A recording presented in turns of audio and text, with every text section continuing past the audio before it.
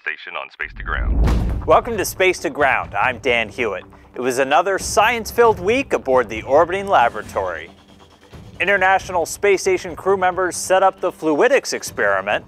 Fluidics is a fluid mechanics experiment with two main objectives. Perform a slosh study to investigate how fluids move in microgravity during satellite maneuvers, and a wave turbulence study that isolates surface tension from gravity when looking at restoring forces.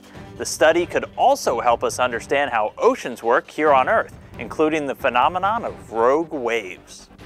Fluid mechanics wasn't the only thing on the crew's mind. They also spent some time studying, well, their minds. Expedition 55 flight engineers Scott Tingle and Norishige Kanai set up hardware for the neuromapping experiment, performing the test both strapped in and floating free. The neuromapping investigation uses brain scans to assess any changes in structure or function of the brain that occur after spending months on the space station. The investigation measures just how long it takes for the brain and body to recover from possible changes.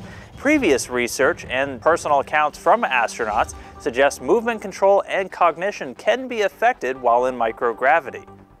This week's question comes from student Cooper Del Fosse of Sunrise Elementary in Sturgeon Bay, Wisconsin. He wants to know if you can see the Great Wall of China from space.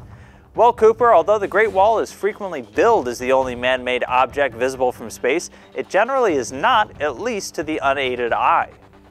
The Great Wall is pretty hard to see and hard to photograph because the material it's made out of is about the same color and texture as the area surrounding it. The shape, the age of the structure, the resolution of the camera, the condition of the atmosphere, all of these factors affect the ability to detect an object from low Earth orbit.